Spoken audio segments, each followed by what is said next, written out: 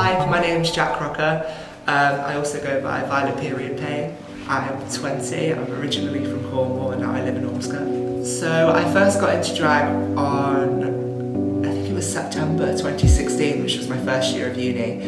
Um, it was kind of weird to like do it so young because I was only 18, but then working with other queens now, I've realised that that's quite a late age to get into it. Um, I only really had the chance to do it once I came to uni because my parents weren't really that like mindful of it. Like coming from Cornwall, there wasn't really anybody else like me. Like I didn't really fit into a group because I was gay, very camp, and that was something completely different to where everybody else was where I'm from. So coming up here and seeing that everything's okay and I can just do whatever I want, like I decided to try it.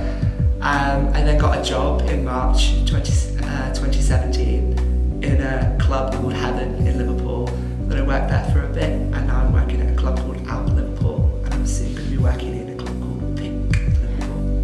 experience last year where I was like finding it difficult to come into uni and like didn't really want to be here and do this and do that and didn't want to be very social and I won't say who but somebody put it down to me and my identity and like how I should go to identity counselling because I don't know where I am. So that was very prejudiced in the fact that I'm a drag queen. I'm a man that dresses as a woman, but I'm very happy that I'm a man. And I'm happy that I can dress as a woman and I'm not oppressed to do so. Like, still a great thing to do, but I don't want anything else from that. Like, I'm very happy as I am. And I feel like that was misunderstood because of me being a drag queen. So I feel like it's just like education that has to happen between like society and minorities to like kind of blur the lines together and kind of make everybody understand. My drag name comes from a, like a lady, a queen called um, Shania Payne. She's a cabaret artist. She works in Liverpool, Manchester, Brighton, London, Cardiff. She's absolutely amazing and she's like what I call my drag mother. So um, she basically guides me through what I do. She helps me put together shows, she helps me put together hair and looks and costumes and like different tips with makeup and things. So she's a big inspiration for me. Um, drag for me has completely changed my like perception of how people see me. So when I'm in drag, I make a lot of friends and I'm normally a little bit tipsy or drunk when I'm in drag. So I kind of come a lot, like come across as a lot more friendly and like happy and bubbly and all of this.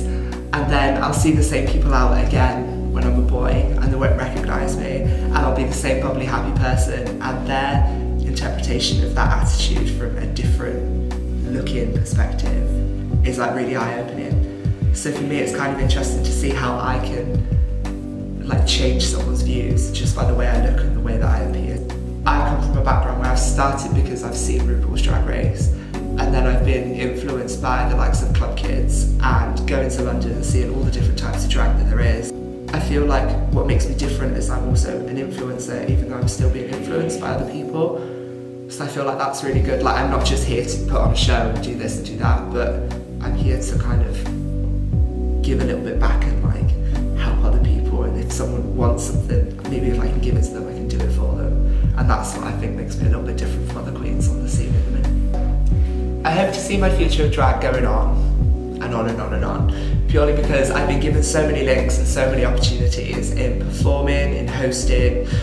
Like, I feel like if I was to stop, I'd be stupid because I've been given so much. Like, I've got two drag jobs at the moment. I'm also working around the UK with Club Kids and like being like 20 I'm still so young compared to other queens that have got what I have.